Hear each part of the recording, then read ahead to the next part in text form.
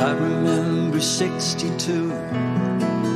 I was 16 and so were you, and we lived next door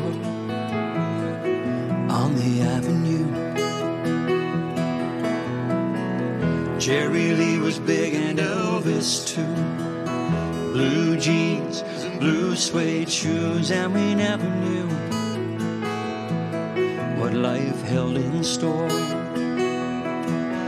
We just wanted to rock and roll forevermore. We were the rock and roll kids. Rock and roll was all we did.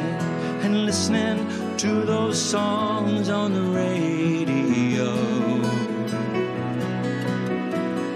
I was yours and you were mine. Was once upon a time. Now we never seem to rock and roll. Oh no. We just never seem to rock and roll. This is the audience's bit. Anymore.